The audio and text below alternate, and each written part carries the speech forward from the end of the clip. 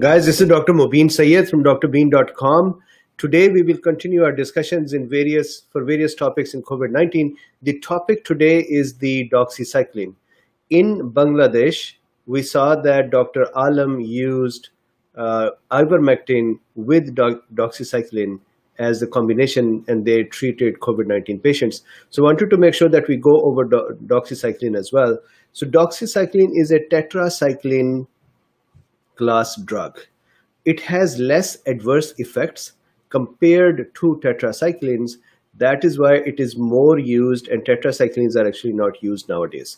So with this, I hope that you had a great weekend. I hope that you liked the last um, interview we had with Dr. Pur Hassan and let us start our discussion.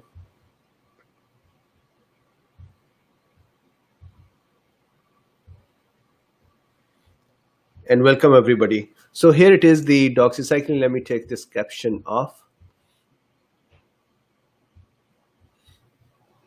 Here is the doxycycline. So doxycycline itself is a tetracycline class of the drug or class drug. In 2019, 10 days course for doxycycline was available for $3.4. So it is actually a very inexpensive drug as well. So if you see here, tetracyclines are drugs that have four rings in them. So I made them over here like four, four rings or tetracycle. And on that cycle are sitting the uh, oxes. so that is the doxycycline. The, remember this, that the tetracyclines, when we administer them in our food, tetracyclines, not the doxycycline, tetracyclines in our food, they chelate the calcium magnesium, and aluminum hydroxide, or they chelate the positive ions present in the food, especially in the milk, and they combine with them. That is the reason that tetracyclines can have some of their adverse effects, including the adverse effect of the teeth discoloration in uh, in younger children or even damage to the fetus. This is why tetracyclines are not used. Doxycycline, on the other hand, is slightly less uh, bad like tetracyclines, it does not chelate the calciums and, and the magnesiums that easily. Because of that, it is still controversial to use in pregnancy, but because of our knowledge that it chelates them less, it is re relatively safe. It is a broad spectrum bacteriostatic drug. So just like we talked about the uh, azithromycin last time, which would bind with the bacterial ribosome, this uh, this pathogen, this drug is also, it does the same as well. so there is a comment, Luffy is famous now. Yes, Luffy has become quite popular. He has actually become more popular than I am. And right now, both of them are playing here, Luffy and Kairi, and you probably can hear their um, running around sounds. So bacteriostatic. Bacteriostatic means that it does not kill the pathogen, the bacteria. Instead, it stops its further replication. And it can actually uh, kill some of the parasites as well. And we'll talk about that. It's fascinating. So first, let's look at the uses of the doxycycline. Doxycycline. It is used in acne, rosacea. So rosacea is an inflammation that is uh, confined to, to the face. It is used in sinusitis sometimes it is used in, for malaria in combination with kin, uh, quinines. It is used in cholera. It is used in walking pneumonia by mycoplasma. In addition to that, it is used in sexually transmitted diseases as well. So chlamydia treatment, syphilis treatment, and then in chronic prostatitis. Of course, chronic pro prostatitis is not a sexually transmitted disease, but these are the diseases of the um, reproductive and genitourinary system. In addition to that, it is used for tick-borne diseases as well. So diseases by brucella, which is a pathogen that is carried by the ticks, or rickettsia, which causes typhus, and then brucella, which causes early, uh, which causes the Lyme disease. Doxycycline can be used in the early Lyme disease, not later. And look at this one. I, I love this mechanism here. you, do you know that doxycycline can be used for the roundworm infection uh, cure as well or treatment as well? And do you know how it does? In the roundworms, there is a bacteria which is called Wolbachia. Inside the worm, there is a bacteria called Wolbachia. Wolbachia's job, so this blue guy over here, Wolbachia's job is to help the worms become females. So in the presence of this pathogen, the Wolbachia, the worm develops female characteristics. So if we kill the Wolbachia bacteria, then the most of the roundworms will become males. And when when we administer doxycycline, it kills the Wolbachia that makes the roundworms become male instead of female. So the male to female ratio to, for the reproductive cycle of the roundworm is disrupted. And that is what causes the roundworms to become sort of sterile and they cannot continue with their productivity or their, their reproduction. So that is how it, it kind of uh, helps uh, treat the roundworms as well. Quick adverse effects so now there are two types of adverse effects that are here in this diagram. One are those by the tetracyclines and the other one are those which are specific to doxycycline. Now remember, doxycycline is a type of tetracycline. It is a tetracycline class drug. So the most important thing that we should keep in mind is the pill esophagitis. So what happens is that when the pills are taken of the doxycycline, and not taken with ample water, that can cause esophageal inflammation or that is called the pill esophagitis. The most common symptoms, adverse effects of the doxycycline are nausea, vomiting, and diarrhea. So the GIT upset are the most common. In addition to that, phototoxic dermatitis. So what happens is that people who are taking doxycycline or tetracyclines as well when they are the those parts of their body that are exposed to sun can develop skin inflammation so that is called phototoxic dermatitis in addition to that the important thing so let's look at the tetracyclines for, for a second. Tetracyclines not the doxycycline itself. Tetracyclines in pregnant women can cause renal and liver damage. And doxycycline, on the other hand, can be given to patients who have renal impairment. And the difference between these two is that normally tetracycline is water soluble. Because of that, it goes into the renal system, goes into the kidneys, and can cause damage. On the other hand, doxycyclines are lipid solubles, and that is how they, we kind of prevent them from damaging the kidney. Still, in the pregnancy, uh, tetracyclines are contraindicated. And the reason for that is that tetracyclines can chelate calcium. They can combine with calcium. And that tetracycline combined with calcium can cause gray to black teeth discoloration. Actually, all the all the bones can become gray to black. The only thing is that the bones, the teeth, are something that we can see. So normally tetracycline nowadays tetracyclines are not used because of these things. But normally tetracyclines were avoided or contraindicated below the age of 8 plus not given in the pregnancy these were teratogenic on the other hand for doxycycline it is not fully clear. So there is from the FDA's point of view it is a class D drug. That means there is some evidence that it can be bad during the pregnancy. So it should be avoided.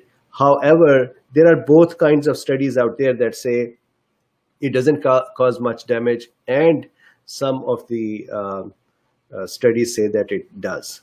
So i would i would ask us to be um, be careful not to use it in pregnancy. So that is the same thing with the teeth discoloration over here as well. Teeth discoloration especially with the tetracyclines not with the doxycycline. So that is the adverse effects. And finally, so it looks like our today's lecture is going to become a little small, uh, small mechanism of action for the doxycycline. So remember we had talked about the bacterial structure with the um, with uh, azithromycin. So this is a bacteria, and we know that the bacteria has multiple layers outside. We have a capsule, so that is over here. Then inside the capsule, the black one is the cell wall. Then inside the cell wall, this blue one is a cytoplasmic membrane. Then inside the bacteria is the gel-like substance, this green thing here. That is the cytoplasm. Inside the cytoplasm, we have many, many enzymes, but one important one is the ribosome, which is the machinery that helps take the RNA or the genetic material and convert that into proteins. Now, in the case of these drugs, the proteins, they, they, they block the ribosomal function. And because of that, further protein formation in the bacteria is not done. And bacteria need to make proteins to develop into two bacteria or divide into two bacteria. They need to make more proteins, more enzymes to which are sufficient for both the bacteria or daughter cells. And these drugs, chloramphenicol, tetracyclines, uh, azithromycin or macrolides that we talked last time, these drugs block the function of the ribosomes. So over here in the bacteria, this area is called nucleoid region. Bacteria do not have a specialized nucleus. Instead, they have a circular DNA present somewhere in their uh, in their cytoplasm, and where that is present, that is called a nucleoid region. It is not called a nucleus. And then, as we talked last time as well, bacteria can have small additional DNAs present in a circular manner. These are called plasmids. Most of these plasmids are used by bacteria for drug resistance. So these superpowers that bacteria develop, they come from plasmids and bacteria are so clever, they can exchange plasmids, just like social media, we exchange thoughts. Bacteria can actually go near each other and then, then do a fission or, or a fusion. And through that fusion, fusion canaliculi, they can share the copies of plasmids and that is how they give each other the capabilities of let's say drug resistance or other harmful things so these are, this is the structure of the bacteria. And now if I go back here in this diagram, this is the mechanism of action, and this is the last part of our discussion today. This is the mechanism of action. So here we have a bacterial ribosome. These drugs do not hurt us too much because our ribosome is different from bacterial ribosome. We have a ribosome that is called 80S, and our ribosome has a 60S unit a 60S subunit and a 40S subunit. And they that together is called 80S. And, and this is not a sum. We do not sum 60 and 40 to make 100. What this is, is that this is, as we talked last time, the S subunits or the numbers here are really the uh, gravitation of the subunit of the protein outwards when we centrifuge it. So here because we have 60S subunit and 40S subunit in our cells, and the drug that we have made, or these drugs, uh, chloramphenicol or the doxycycline or macrolides, they mostly attack the 30S subunit of the bacterial ribosome. Because of that, these drugs do not affect us too much. So here, if you see, this is the doxycycline. It is bound to the 30S subunit of the ribosome. Now, the function of the ribosome is to take messenger RNA, which is a genetic material to make proteins, and that messenger RNA passes through the ribosome. And as it is passing through the ribosome, ribosome would, would read the codons or the code on, the, on that genetic material and then convert that into peptides or proteins. These proteins will then become functional parts of the bacteria or functional parts of our body, for example, enzymes or structural proteins. So here, when the doxycycline combines with the 30S subunit, it does not let the 30S subunit do its function. And the result is that the messenger RNA's translation into the proteins is stopped. And when that is stopped, bacteria cannot make more proteins. So this is what is called bacteriostatic function, that bacteria cannot make more bacteria it is the current bacteria in which the doxycycline has gone, that bacteria survives. It is not killed. So the drug is not bactericidal. It is bactericidal bacteriostatic, that is, it would not let more bacteria be formed. But the current bacteria population that is already present, that would continue to work. So this is the discussion. The uh, interesting thing is that just like with hydroxychloroquine, the drug that was combined with that was azithromycin. With ivermectin, there is a very common combination with the doxycycline. So this is the discussion. Any questions? So let's take about five minutes for questions or discussions here, and then we'll continue.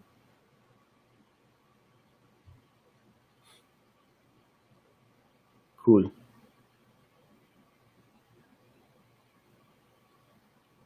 So um, James Kelly says that does bacteria bury in biofilm and thick mucous membrane, making them, it is possible. There, there are some bacteria that make biofilms and then having the, the um, antibiotics reach them can become difficult. And this is why bacteria that have buried themselves in the abscesses or that have formed abscesses, sometimes we need surgical removal of the abscess because the body's uh, blood circulation cannot go there and kill the pathogen.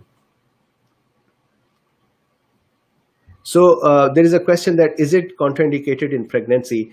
Uh, tetracyclines are definitely contraindicated in pregnancy. Doxycyclines are less uh, harmful compared to tetracyclines, but they are still uh, marked as class D drugs by FDA. That means there has been evidence that there can be harm in pregnancy. So I would say don't use it. There's a comment that doxycycline is fecally excreted, correct? Because it is not water soluble. So Kyrie will be jealous of Luffy uh, Luffy's fame? I think so. Luffy is becoming very popular. Somebody was asking me to make uh, uh, what is that merchandise for Luffy and uh, have some hats and T-shirts. So we'll do that. Welcome from Venezuela. Welcome from Australia. So cool. So that is the discussion we have today. Interestingly, I am not seeing any YouTube uh, presence. Looks like the uh, the streaming system that I'm using, it somehow did not connect to YouTube. Anyways, I'll upload it over there afterwards. Thank you very much, guys, today. Tell me what would you like to discuss tomorrow, and we'll continue from there. Bye-bye for now.